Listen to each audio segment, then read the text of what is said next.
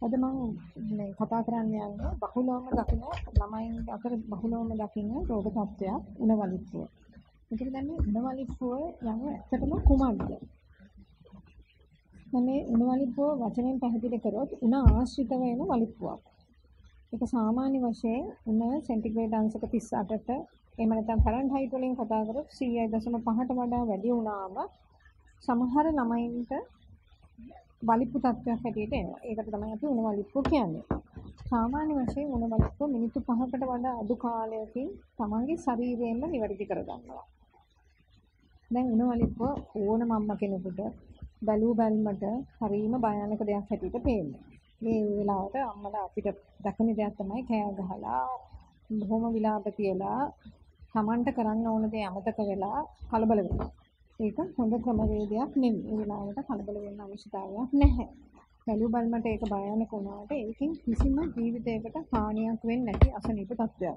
ඒ අනිත් වචන වලින් කියනවා නම් ඒකෙන් තමන්ගේ ජීවිතයක් නැති වෙන්නේ නැහැ. බුද්ධියට හානියක් වෙන්නේ නැහැ. මොළයට හානියක් වෙන්නේ නැහැ. ඉදිරි අනාගතයේදී මේක මීමැස්මර රෝග තත්ත්වයකටපත් වෙන්නේ නැහැ. එතකොට දැන් කාටද මේ උණවලික්කෝ හැදෙන්නේ? දැන් අම්මලා බලයි ඇයි කාට දැන් සමහරුන්ට හැදෙනවා සමහරුන්ට හැදෙන්නේ නැහැ. ඉතින් මම ඉස්සෙල්ලම කිව්වා උණවලික්කුව උනාශ්‍රිතව තද උනාශ්‍රිතව දකින්න දෙයක් කියලා. ඒක මේක සාමාන්‍ය වශයෙන් බහුලව දකින්නේ මාස 5 සිට අවුරුදු 6 දක්වා වයස කාණ්ඩයේ ළමයිට. ඒකෙන් ළමයි ඒ කාණ්ඩයේ ළමයි සාමාන්‍ය වශයෙන් 104 දෙනෙකුට මේ උණවලික්කුව හැදෙන්න ප්‍රවණතාවයක් තියෙනවා. එතකොට ඒ බහුලව ගත්තොත් මේ වයස සීමාවේ බහුලවම මේ උණවලිප්පුව හැදෙන වයස ගත්තොත් අවුරුද්දයි අවුරුදු එකමාරයි විතර. බහුලවම දකින්නේ ඒ වයස් කාණ්ඩේ ළමයි.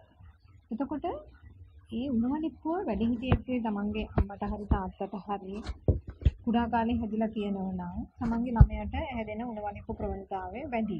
අනිත් අතටම තමන්ගේ මේ ළමයාටම ඊට කලින් උණවලිප්පුව හැදිලා තිබුණා නම් උණවලිප්පුවක් හැදීමේ ප්‍රවණතාවය වැඩි.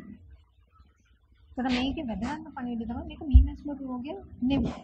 මේක සම්පූර්ණයෙන්ම අහිංසක ගුණ ආශ්‍රිතව කුඩා කාලේ සමහර ළමයින්ට දකින්න තියෙන වලිපුවක් පමණයි. ඉතින් අපි කොහොමද මේ උණ වලිපුව අඳුරගන්නේ? දැන් මේ උණ වලිපුව අවස්ථාවේදී ඇඟේ ගැස්මක් එනවා. බුබු විට දෙපැත්ත අතපය දෙකම ගැස්සෙනවා. සමහර ලාවට ඇස් උඩ යනවා. සමහර ලාවට කඩා වැටෙනවා. ඒකම බබාලා කිඳිරි ගන්නවා. සිහි නැතිවීමක් වෙනවා. සමහරුන්ගේ ඇස් උඩ යනවා. ඒකම සමහර දන්නේම නැතුව වමනයක් මුත්‍ර කෙලි මුත්‍රාත් මල පහ මල පහ වගේම මුත්‍රාත් යන්න පුළුවන්. ඒකට දැන් මේ උණවලික්ක හැදෙන්නේ මොකද කියලා දැන් ප්‍රශ්න කරන්නේ. අයි මේ විදිහට උණවලික්ක හැදෙන්නේ. සමහරුන්ට හැදෙන්නේ නැත්නම් සමහරුන්ට හැදෙන්නේ. එතකොට දැන් මේක පැහැදිලි වෙලා තියෙන ඥානමය සම්බන්ධයක් තියෙන ඉඩකඩ තියෙනවා. අනිත් එකට සමහර වෛරස් රෝග ආශ්‍රිතව දකින්න බහුලවම දකින්න දෙයක්. ඒ කියන්නේ සමහර වෛරස් වර්ගවලට උණ තද උණක් වෙනවා. අපි දන්නවා ඉන්ෆ්ලුවෙන්සා තියෙනකොට තද වුණක් වෙනවා.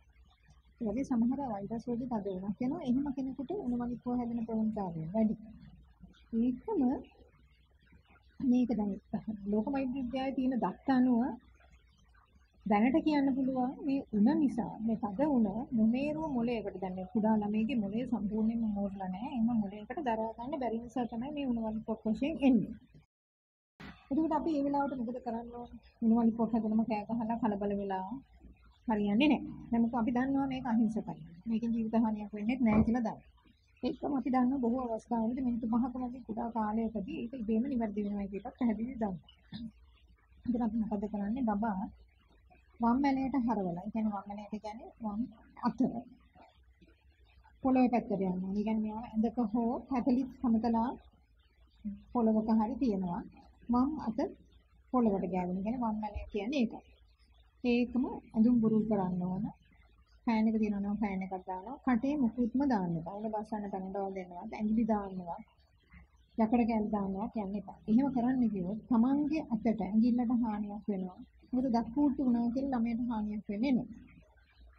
එතකොට දැන් මේ බබා සාමාන්‍ය වශයෙන් මිනිත්තු 5කින් ඉබේම කොට ඉන්නවා. එතකොට දැන් මිනිත්තු 5කට වඩා වැඩි කාලයක් තියෙනවා නම් හරි මිනිත්තු 6ක හුස්ම ගැනීම අපහසුාවක් නිල්පහයක තොල්වල නිල්පහයක් වෙනවා නම් වහාම ළඟම පහසුකම් සහිත ස්පිරිතාලයකට එක්කන් යනවා. ඒ අවශ්‍යතාවය හුඟක්ම වෙලාවට බොහෝම බොහෝම අඩුයි. එතකොට දැන් මේ ඊළඟ ප්‍රශ්නේ තමයි අම්මලා දැන් වලිප්පුවකදී ඉතින් වලිප්පුවදී අපි කියනවා මේ මිදු පහකින් බුදු වෙනවා කියලා. ඒ බුදු වුණාට පස්සේ අනිවාර්යයෙන්ම අපි බලන්න ඕන මේ ළමයාට උඩ එන්න හේතුව. එම නිසා ඒකෙන් පස්සේ අපි වෛද්‍යවරයෙකු හමු වෙන යන්න ඕන. මේකට මොකක් හරි හේතුවක් තියෙනවනේ. උඩක් එන්නේ හේතුවක් තියෙනවා. එතකොට ඒ හේතුවට ප්‍රතිකාර කරන්න ඕන පරීක්ෂණ කරන්න වෙනවා. මේකම තමයි ඊළඟට බහුලවම අම්මලා කියන කතාවක් තමයි.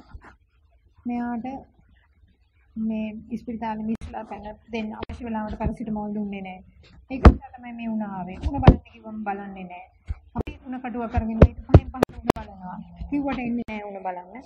මෙතෙන්දි ප්‍රශ්නේ තියෙන්නේ දැන් අපිට පැරසිටමෝල් කියන ද්‍රව්‍යය දෙන්න පුළුවන්.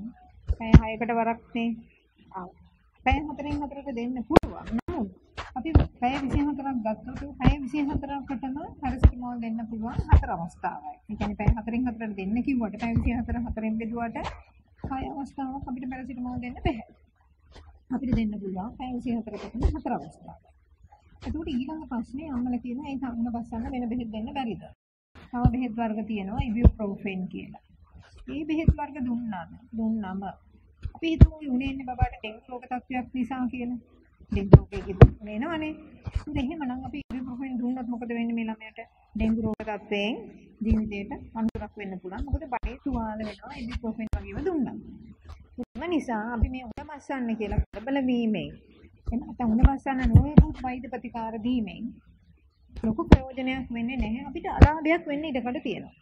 බබෙකුට ජීවිතේට හානියක් වෙන්නත් ඉඩකඩ තියෙනවා. මොකද පැරසිටමෝල් වැඩි වුණාම අපට අනුතරක් වෙන්න පුළුවන්. අනිත් අතට ඉබුප්‍රොෆෙන් දුන්නොත් ඩෙන්ගු රෝගයකට අපි උපනිකුවට බය වනසන්න බය. ඉබුප්‍රොෆෙන් දුන්නොත් වෙන්නේ ඩෙන්ගු රෝග තත්ත්වයේ ලේ ගලන්නේ ගිහින් ජීවිතේට අනුතරක් වෙනවා. දැන් අපි පැහැදිලිවම ඔයාලට කියලා දුන්නා. දැන් මේ ඔනවනික්කෝ කියන්නේ අහිංසකම දෙයක්. ඒකෙන් ජීවිතේට අනුතරක් වෙන්නේ නැහැ. ඒ අවස්ථාවේ ජීවිතේට හානියක් වෙන්නේ නැහැ.